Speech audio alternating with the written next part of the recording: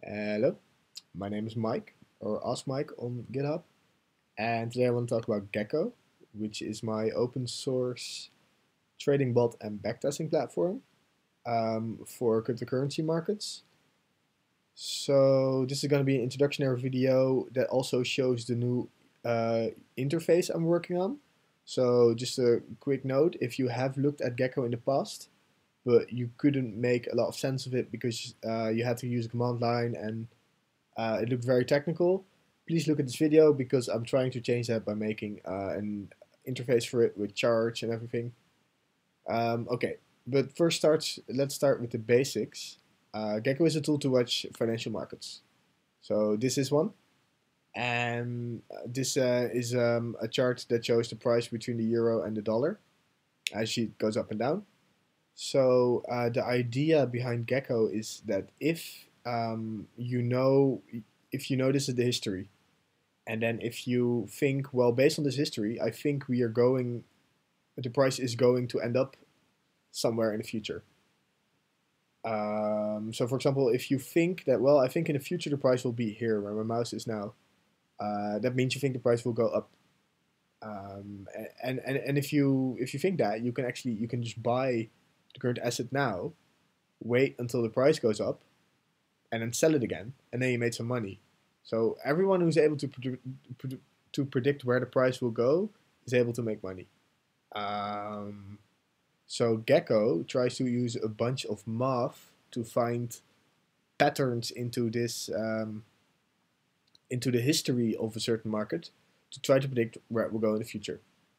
Um, and the bunch of math is called technical analysis, and you use different technical analysis indicators for that.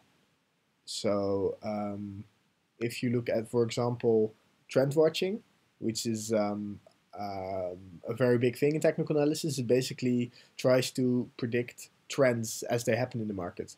So in this one, for example, you can see uh, that the price from, uh, in this case, Amazon stock went up in from basically from February up until October somewhere. Uh, if you could have predicted this, if you knew in February the price would go up, you could have bought the stuff at like under 25, like 22 or so. You could have hold it and then a few months later in November sold it, or in October actually, sold it for 60 at the highest point. Um, like tripling your money almost.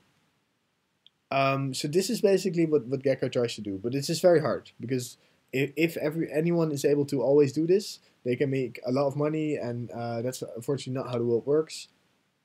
So you can never ac uh, accurately predict what will happen. This is basically the whole idea behind uh, technical analysis as well. It's about minimizing risk while still being able to predict what might happen.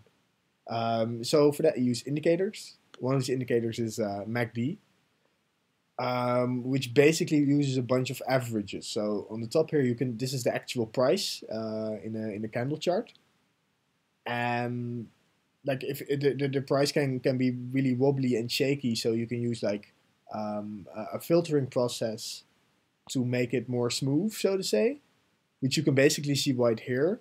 Like here you can see that the, the you see two lines, a blue and a purple one, and the blue one is a little bit less smooth than the purple one. Purple is the most smooth. And MACD uses two different smoothers and then watch when they um, when they cross to make a prediction about the trend that will that might be happening. So here, for example, um, MACD goes into uh, um, a bearish pattern, saying well, I think right now the market, the price of the market will go down, which actually happened, as you can see here. Uh, right here, the, the signal reverses, and you can see that the price will go up. Um, so basically, if you're able to predict this, you can at this point either sell or short the, the certain asset. At this point, buy it again. At this point, sell it again. Uh, and uh, every time you do this, you make money, which is the idea of trading. Okay, so uh, coming back to Gekko, where does Gekko comes in in this picture? Well, it can run all these calculations and automatically um, apply and trade these assets either virtually by not spending any money. This is called paper trading, or by actually doing it on a Bitcoin exchange. Um, um, or it can um, yeah, or it can just monitor the data so you can later perform these kind of statistical um, uh, calculations over it. So if you go down on the Gekko page, you see here. Um, so what does it do? It is automated trading. So it, it's able to calculate. It's able to calculate these kind of signals, and then automatically trade on these on these signals here. Um, it's able to paper trade, so basically means the same as automatic trading, but then just use a virtual balance and do not actually make any orders at any real exchange, but just simulate what would have happened if you did. Uh, backtesting is basically um, downloading a bunch of historical data and then running a certain strategy that uses these indicators over it to see whether a certain a certain set of indicators with specific um, parameters would have worked in the past, um, which is called backtesting. And then Gekko, you can also use it for a bunch of other stuff if you want to make like a website with, with, with price charts or whatever. Gekko is able to monitor the, markets for you, put it in a database, and then you can easily make turn that into charts or whatever. Um, I won't be covering those things in that video. It's a bit technical. Okay, so as I said, I'm working on the interface now. So let's see what it looks like. Uh, so it uses your browser. Um, and, this, and this is basically uh, the main menu right here. So if you uh, want to backtest, uh, you need uh, local data. Right, like you can only uh, calculate over over historical market data once you have it. So um, let's see. Well, apparently we don't have anything. So you can go to local data here, and you can again scan that you don't have anything, or you can go to the, the importer and directly import historical market data from the interface. Uh, so here you can say, okay, I want from Poloniex, I want USDT BTC market is the market I'm interested in. Uh, on default, it will it will plug in the last three three months. So this is basically now, uh, and this is three months ago. Uh, but you can also say, well, I want that to be uh, five months or, or six months. I click import. Uh, and now Gekko is running in the background, fetching the market, actually talking to Poloniex, the real exchange, and fetching this market data in.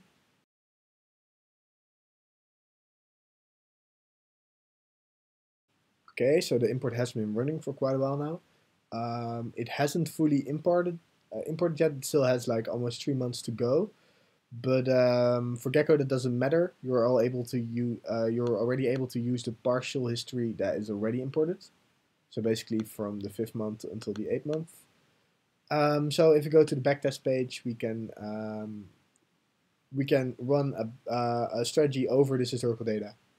So if we click scan now, we'll see that hey, there is a data set now, which is the one that we are currently importing. You can use that uh, which is in total three months and a little bit of data. Um, so uh, you have to um, let me. You have to tell which strategy you want uh, Gekko to run over this this data. So MACD is a strategy that only uses one single MACD indicator, which is the same as this chart here. Uh, but as you can see, uh, if you look closely here, it says MACD close, which means it's calculated over the, the close property of the candle. Uh, and then 12, 26, 9. Uh, so if you go back, you can you can see here, well, we have different ones, so we can change them to 12, 26, 9 to mimic that. Um, the, the idea is if the change these numbers, the smoothing will change, and therefore the location of the arrows will change, which means your signals will change. Um, so you have to figure out which one works best for the market you're looking into. So there is unfortunately no one size fits all uh, which is why backtesting is so easy. Like you can just plug in numbers, try, see what happens. Uh, the other thing is the, the candle size. So if you look at this one here, you can see that each block here is a month. But this one is from Ju June to July. Uh, that means that each of these candles here is probably like uh, bi-daily or so. Uh, because there are only like 15 or so in this thing here. Um, but if you would have to be plugged in a candle every minute, so to say, so there would have been thousands of candles, you would have gotten different um, uh, signals as well, because then basically you're looking at the market from a different resolution.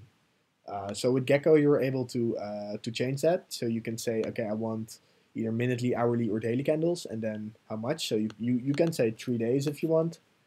Um, you can also say um, three hours. Let, let's, let's keep it at three hours for now. Um, you can also do it whatever number you want.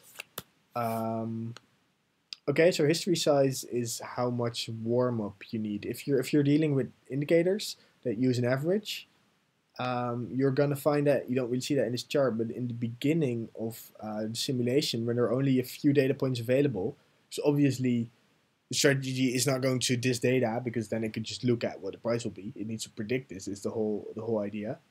But if you only have like one or two candles left, you can't really calculate an average over those. So you will see that the lines are the same and they will cross a lot. Uh, and for that, you need a warm up period until after that, uh, the signals should be ignored, uh, which is here. So this is the amount of candles uh, Gekko should use and ignore uh, uh, the um, signals. Uh, okay, so we've configured this. Let's just keep it 10 for now.